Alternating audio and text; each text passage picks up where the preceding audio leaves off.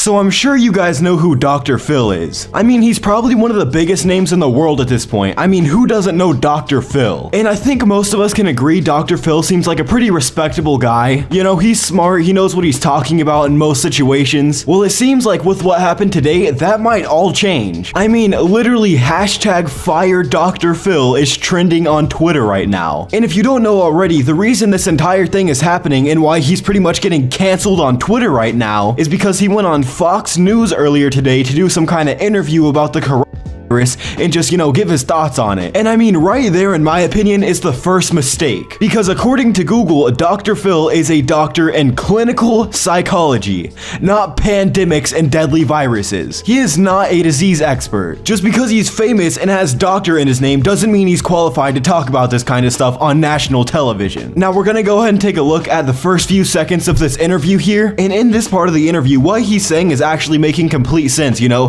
This is before he kind of went off the rails rails. This is invisible. I can't show you an x ray of depression.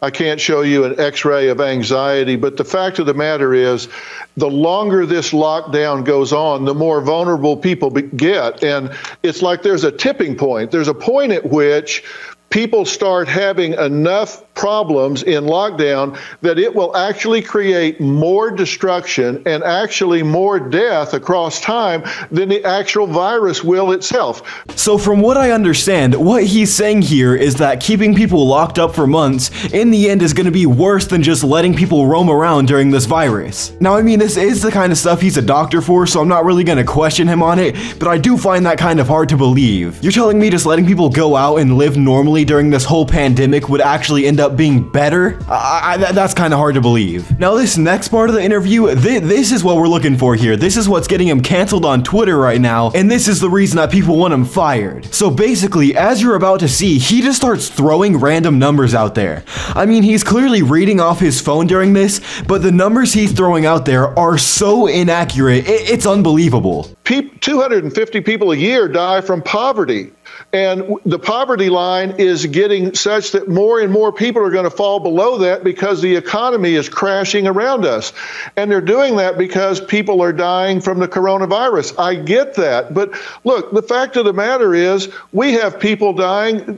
45,000 people a year die from automobile accidents, 480,000 from cigarettes, 360,000 a year from swimming pools. But we don't shut the country down for that. But yet we're doing it for this. And the fallout is going to last for years because people's lives are being destroyed. So, I mean, when you listen to that without putting an ounce of thought into it, maybe it makes sense to a few people. But I mean, just when I listened to that, those, those, some of those numbers just sounded ridiculous. So I went ahead and wrote down all these numbers he just threw out there and Googled the actual numbers. So the first statistic that Dr. Phil dropped on us here was that apparently 250 people die to poverty each year in the United States. Now, I feel like immediately to most people that should have been a red flag. I mean, 250 people? Really? That, that sounds accurate? Really? That one just completely checks out, no questions asked? Well, with a 10 second Google search, I was able to find that the number of people who die from poverty each year in the US is actually closer to 133,000. How can you be that far off? He's literally reading off his phone the same thing I'm doing,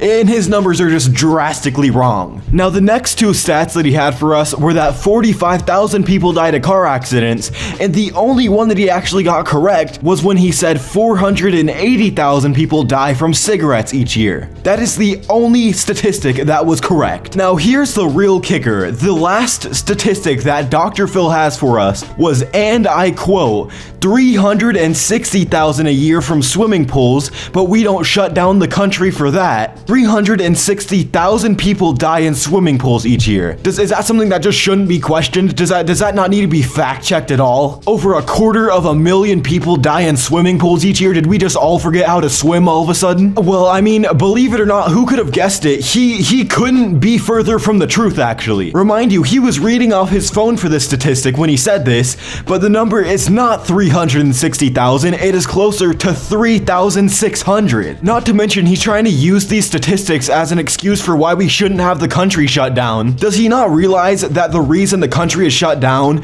is so that we don't spread the virus more with people interacting out in public? I mean, car accidents, swimming pool deaths, and cigarette smoking aren't contagious. We're not social distancing from swimming pools. Anyway, that's where I think we're gonna go ahead and wrap up this video. Don't forget to drop a like and subscribe if you're brand new to the As always, you can follow me on Twitter at RelexOnYT. And other than that, I'll catch you guys in the next video. I'm out.